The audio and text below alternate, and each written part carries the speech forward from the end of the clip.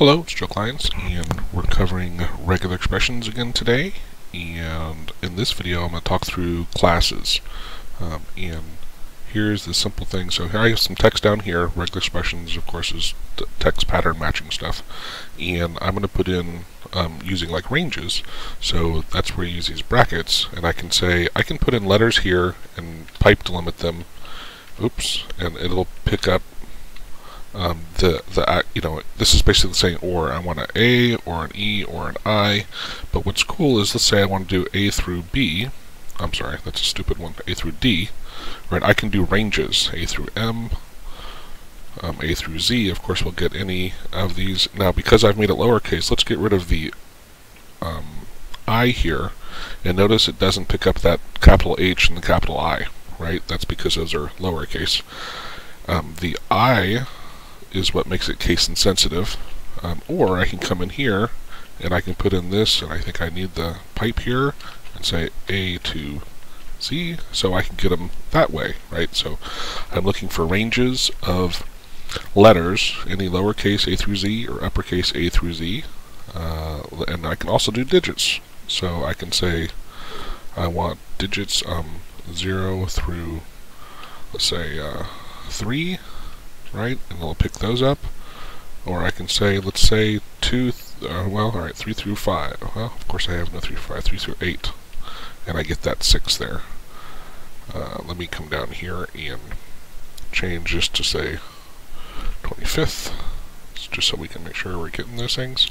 So that's how ranges work. Now another way you can do this is, let's, so I'm going to put back in A to Z, and it's getting that, but what if um, I, I wanted to exclude those. So what I can do is I can say put in the caret, and that'll say not. It says I want everything that's not A to Z. So this is how I can exclude, or let's say I want to exclude uppercase letters. A to Z. Now I've dropped out. I'm trying to figure out why the uh, that W isn't getting picked up in world.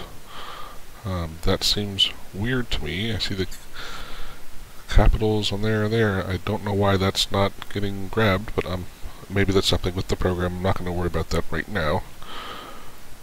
Um, and I can say not um, in the ranges from 1 to 3, and so it doesn't pick up the 1s and the 2s. Um, or let's go back and give it the 0, so I can drop that out.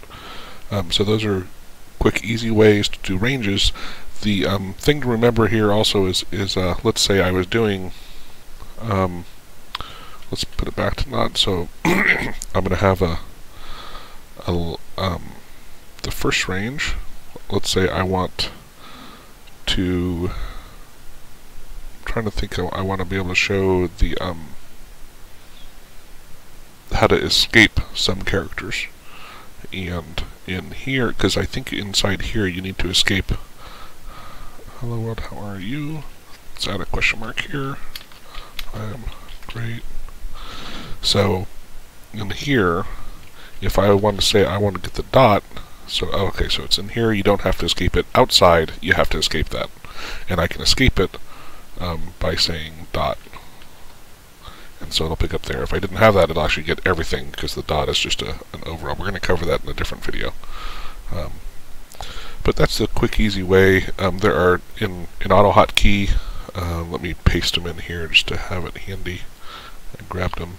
These are characters, and again, I don't think it's inside that class, uh, inside the brackets. They're okay, but outside the brackets, you have to escape these, and you escape them with the backslash sign. So, if you actually need to escape a backslash, um, you put in two backslashes, and that takes care of it. Uh, but anyway, that's it for, for this video. Just want to demonstrate um, using ranges, which are very helpful, but there are a lot of other shortcuts that I use instead of ranges. Um, it's just, it, regular expressions has a ton of different ways to do things, and this is one of them, and we will cover some of the other um, escapes which, which help that as well. Thank you.